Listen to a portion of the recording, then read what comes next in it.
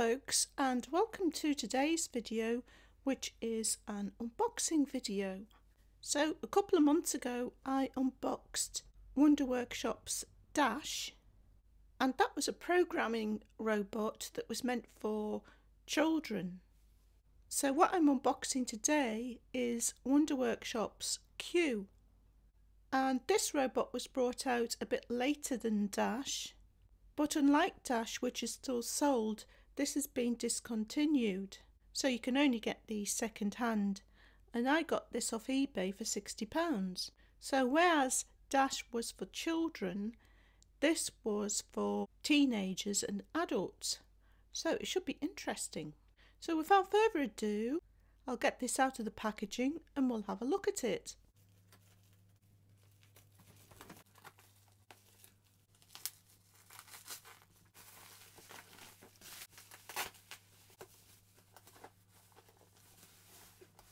Fell out while I was taking that outer packaging off. I think that looks like it probably goes on here somehow, Paul. Mm, maybe. So it's in its original box. So it says Your Robot, Your Rules. Uses Bluetooth, same as Dash. Robotics Amplified. Cue builds your skills with games and challenges and makes programming your own interactive experiences fun for any skill level. Chat. Send Cue text messages or discover its sense of humour, snappy answers, crazy memes, and jokes that will keep you coming back for more. Create.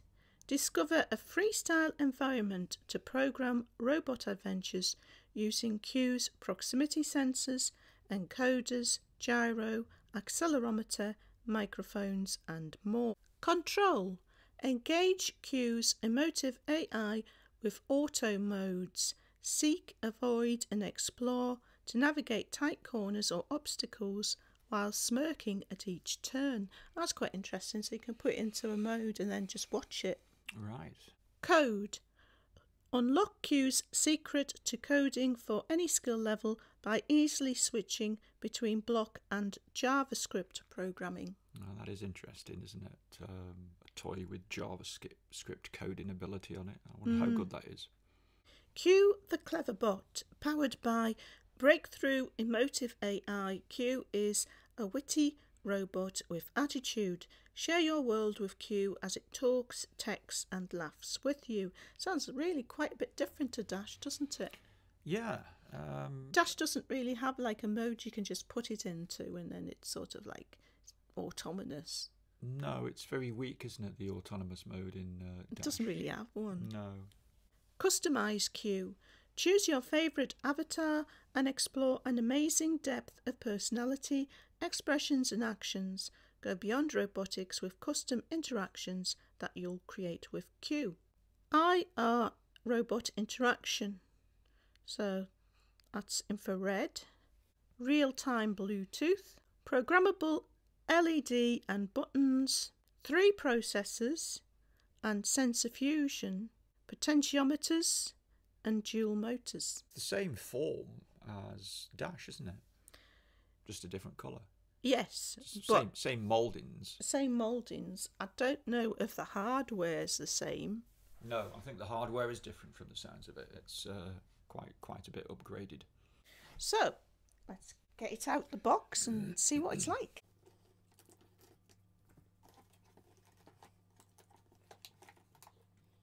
So they've not supplied the power cord that would have come with it originally. Okay. But that's no big deal. No, it's just a 5 volt USB adapter, isn't it? Got these connectors for putting accessories on and Lego. Mm. That'd be an excuse to buy some Lego. It could be, couldn't it? so this is just a warranty and warnings. There's no instructions with it. But I didn't get any instructions with Dash. No. You pretty much get all the instructions that you need from the app. Mm. So I'll switch on his power button, but I doubt he's got any charge in him. Oh, yes! That was a surprise.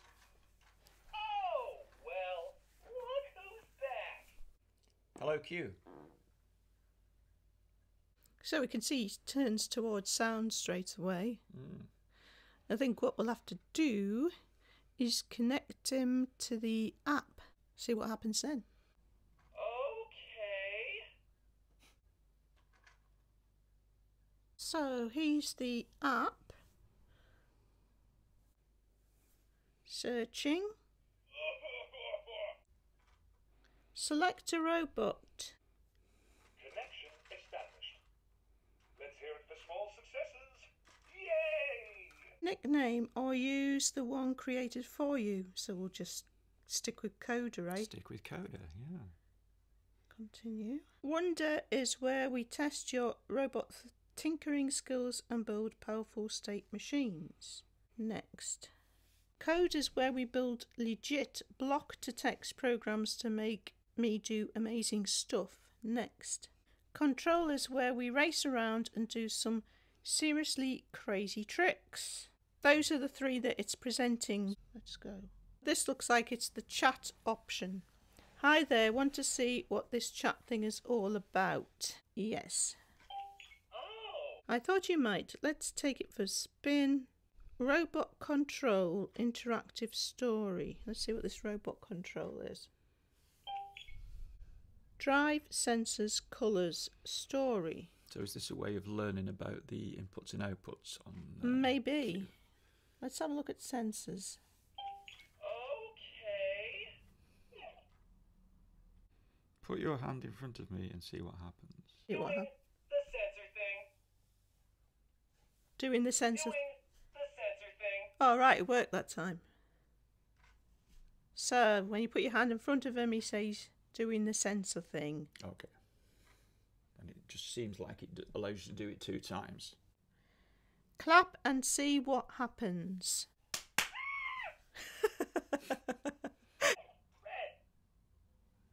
Right, colours. He's so he tapped on colours and he just said red.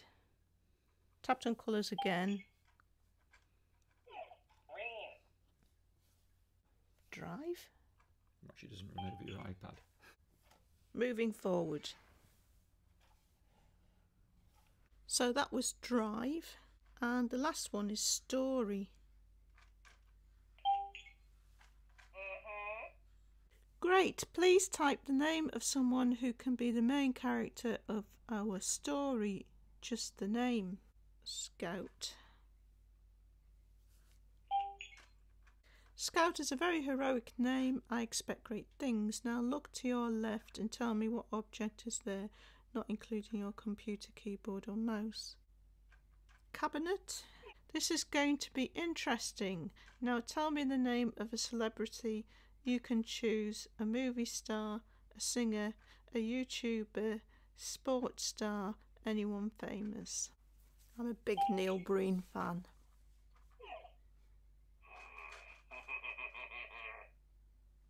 Really? Do humans really consider Neil Breen a celebrity? If you say so, well, uh, yeah. I mean, he's he's directed and starred in six of his own movies, and I think that makes him a celebrity. Scout looked out the window and saw two figures fighting. One resumed a human. Oh, sorry, one resembled a human, but the other looked weird, artificial, hiding bushes. Oh! Scout hid in the bushes like a scaredy chicken and stayed in the bushes until the fight was over. The end. That's it. Okay, quit. You made it through the intro chat just barely. Let's see what else we can do together. So there's an arrow at the top of the screen, so that seems how you get out of this.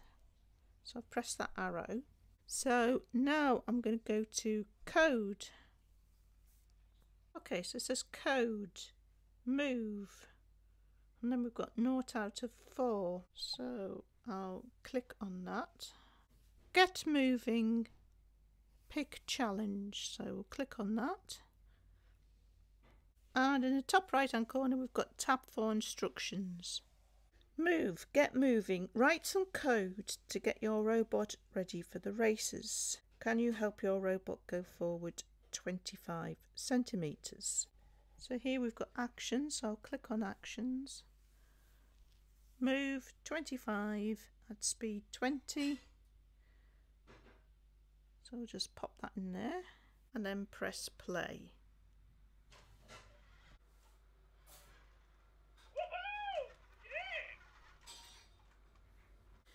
And then it says complete, get moving, move challenge progress one of four, next step. Now try editing a block. Tap the numbers in the move block to change distance or speed. Can you help your robot racer to move forward 50 centimetres? Press play again.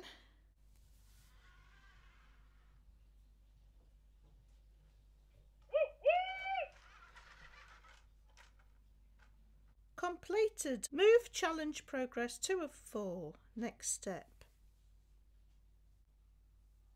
Move never look back. You can delete a block if you don't want it in your program anymore.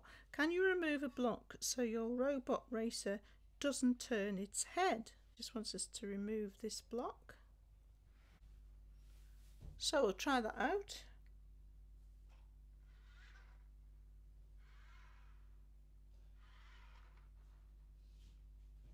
yeah, baby!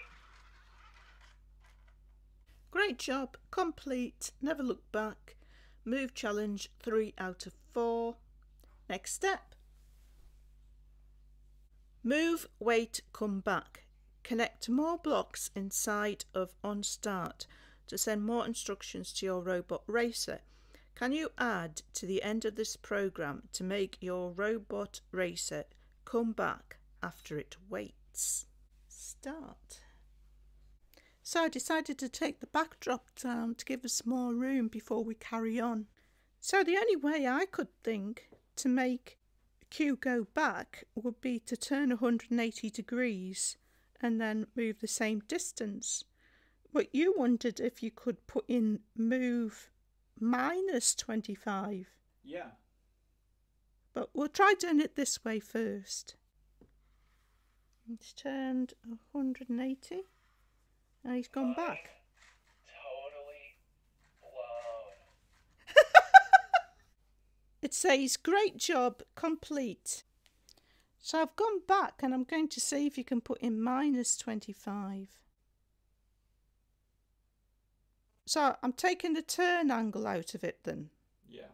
and just putting minus 25. Yeah. Okay, we'll see if that works. So I'll press play.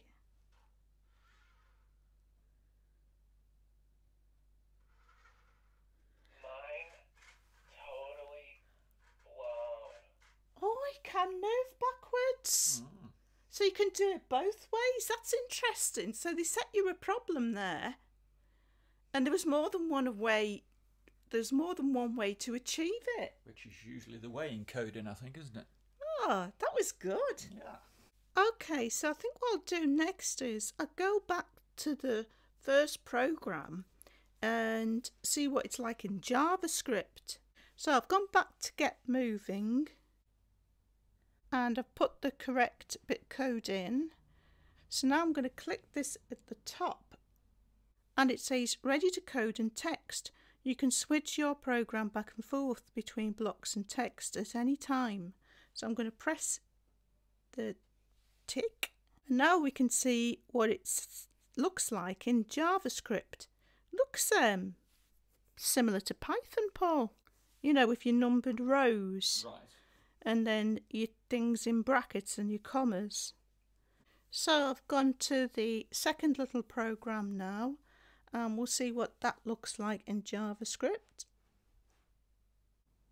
And, and it's exactly the same other than it's got 50 instead of 25 in the brackets. Now we've got the never look back program and what that looks like in JavaScript. And this was the last one, wait come back. So this is achieving it by putting in minus 25, so it makes it go backwards. So let's see what that looks like in JavaScript. Ah, this is interesting.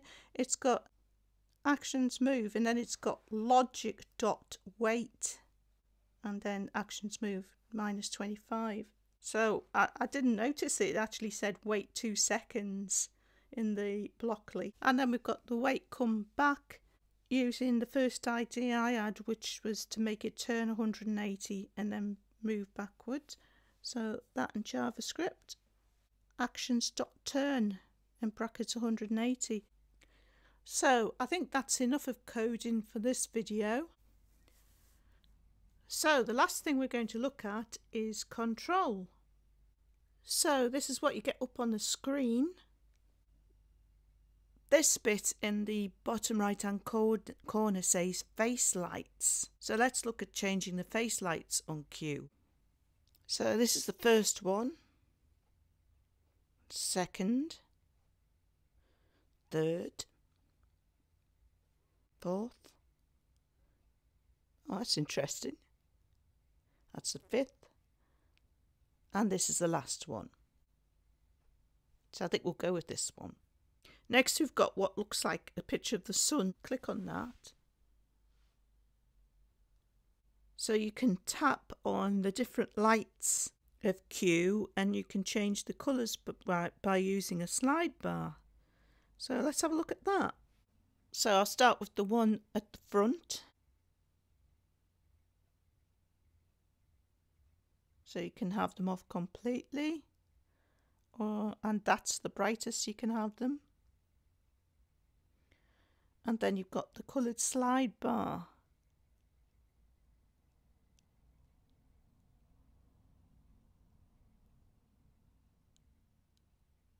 And you can highlight all of the lights to change them all at the same time to the same colour. So that was body lights. Not sure what this next one is. Sounds. Play sounds, slots, or record over one. So all the sound slots just sound like this.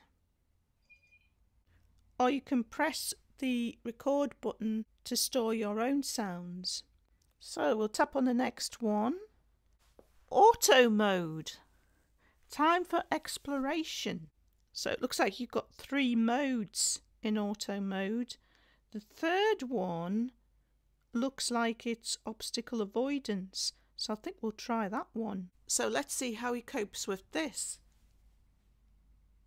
I'm all ears or sensors or whatever. So it says, put your hand in front of me, I'll avoid it.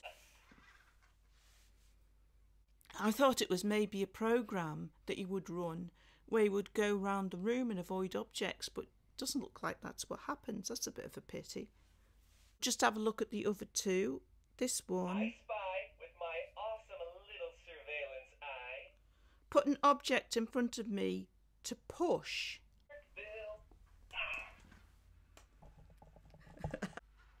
I like that.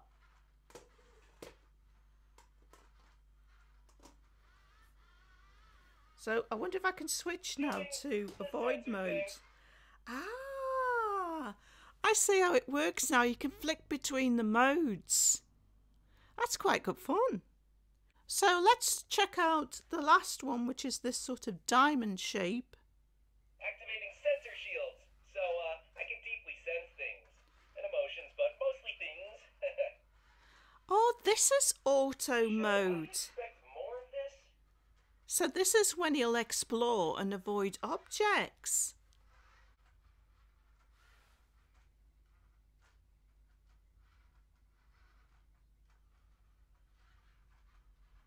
I took a chance. I played the odds. I did it my way.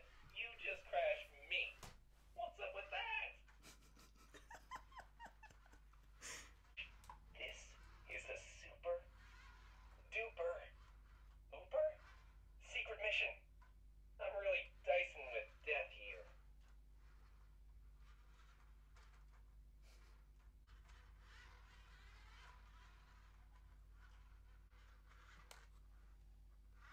Okay. I really like that auto mode. I think I'll probably put him in auto mode when I've got uh, Scout and Rocket and Luna having floor time. That should be interesting. So next we've got what looks like a rocket.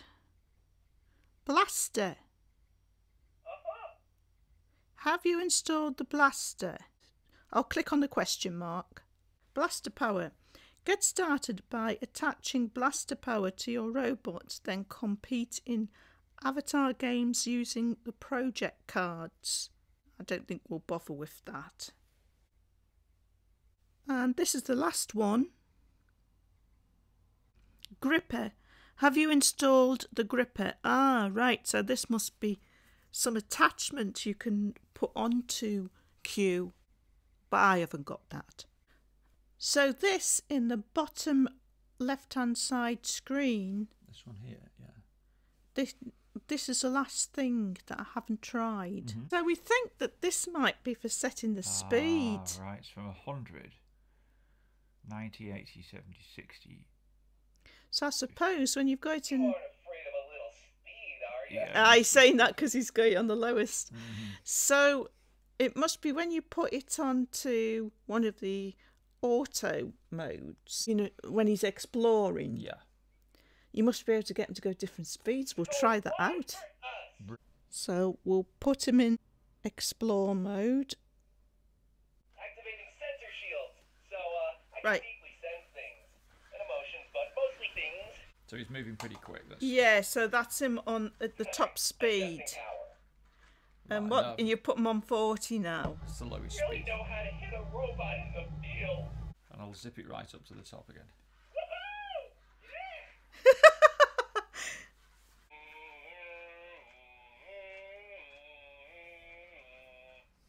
So what do you think of Cue, Paul?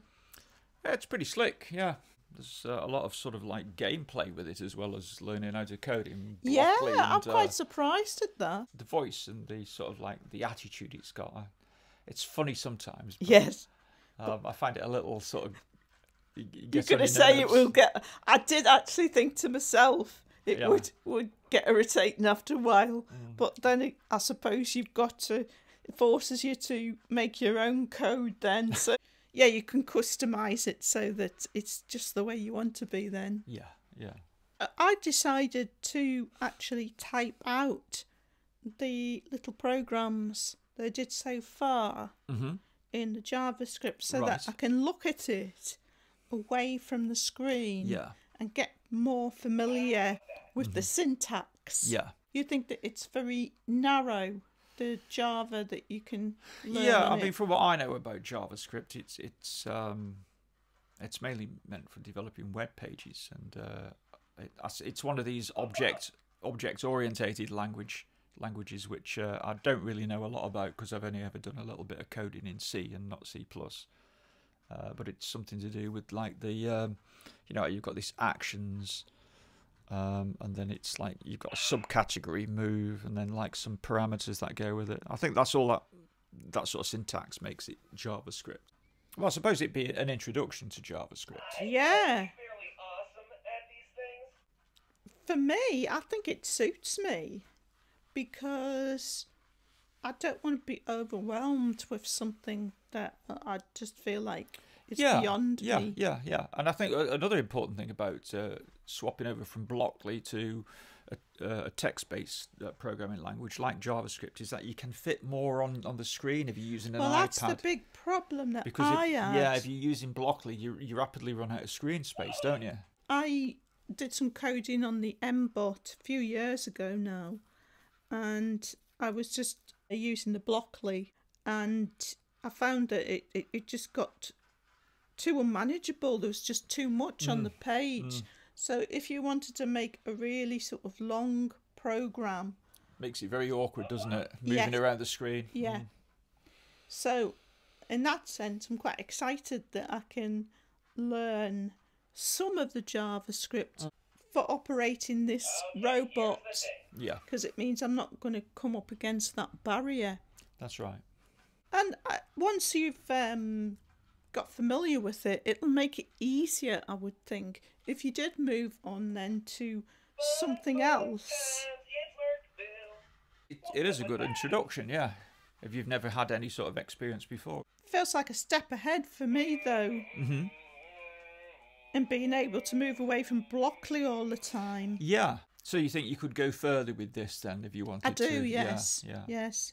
So the I- I think it's much better than the Dash robot. And I I don't know. Sure.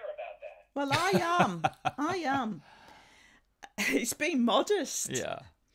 And I don't know how much more I'll actually work with the Dash robot. Mm-hmm. But I don't think I'm going to spend that much time with it. Whereas this one, You just think you'll put put put a bit more time in programming. yes, Yeah. Yeah. yeah. What's going on?